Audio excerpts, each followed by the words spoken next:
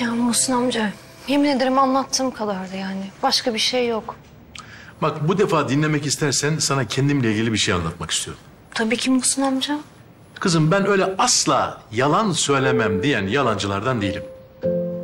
İnsana ait her şey benim için normaldir. Yalan söylemek bile. Muhsin amca ben size yalan söylemedim. Müsaade et de lafımı bitireyim.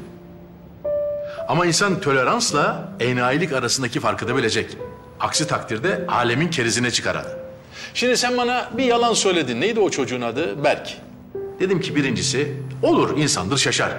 E, ikincisinde ben kendim görürüm. Onu bir şekilde bir affederim. Ama üçüncüsü olunca yo kızım ben kendime enayi dedirtmem. Haklısın Muhsin amca ne diyeyim. Vallahi çok özür dilerim. Özrünü bir şekilde kabul ederim. Bundan sonra Yelda annenin sana yol göstermesine izin vereceksin.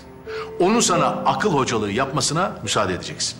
Muhsin amca Yelda Hanım Evet, Yelda biraz serttir, aksidir. Dili kılıç kadar keskindir. Ama sen sabredersen karlı çıkarsın. Yelda senin için bir okul olur.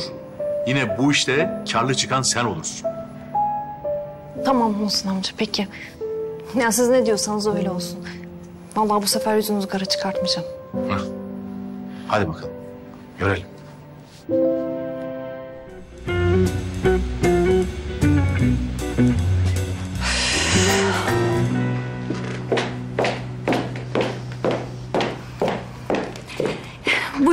Beni çağırmışsınız Yelda Hanım. Evet.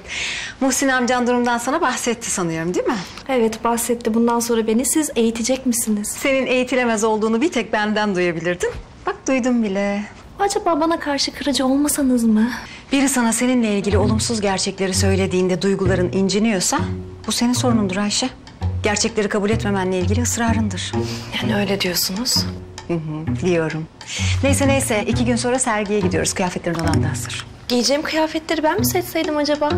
Hani bir fikrimi alsa mıydınız? Aa, e senin sergide nasıl giyinileceği konusunda bir fikrin var mı ki ben senin elinden onu alıyorum? Hı? İşte bu yüzden yarından itibaren benim istediğim kıyafetleri giyeceksin. Hepsi odanda. Yani teşekkür ederim. Çok zahmet etmişsiniz.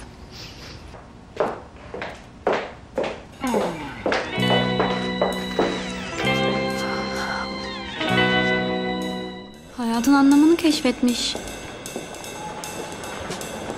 Bak şimdi insanlar sana selam verdiklerinde sen şöyle hafifçe bir baş selam ver tamam mı? Bir şey sormazlarsa konuşmana gerek yok. Tamam Yelda Hanım. Bu arada bu ressam kızdan çok olumlu bahsediyorlar. Buradan bir resim alırız mutlaka. Ay şuna bakar mısın? Çok güzel. Bu bizim merdiven aralığındaki mavi tablo var ya onun yanına çok güzel olur bence. Bunu alalım mutlaka. Tamam, hayırlı uğurlu olsun. Bak ressam da orada.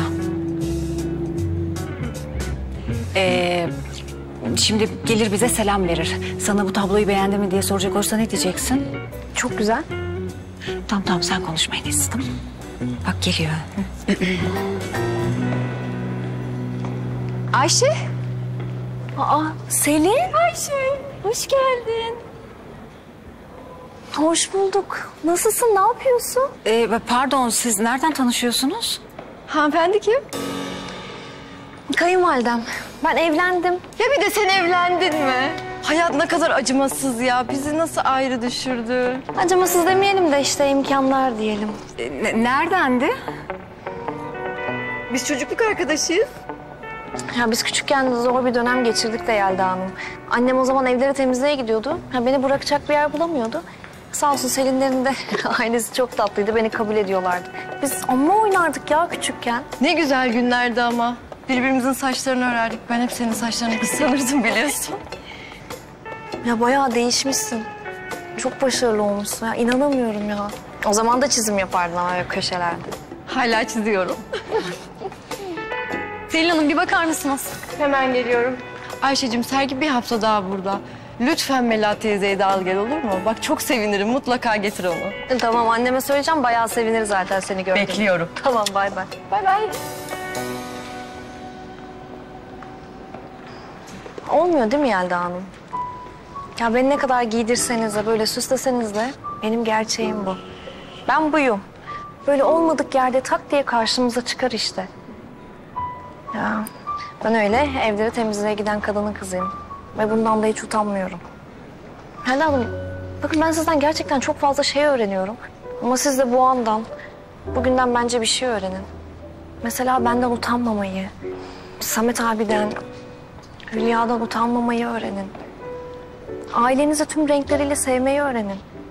Öyle çok daha güzel. Yani bence o kadar zor değil. Ee, pardon bakar mısınız? Ben e, bu tabloyu almak istiyorum. Selin Hanım resmin Ayşe Hanım'a hediye olduğunu söyledi. Ne?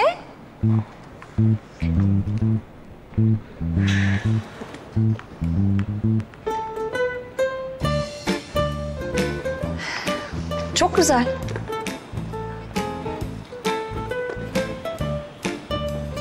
Kanalımıza abone olarak tüm videolardan anında haberdar olabilirsiniz.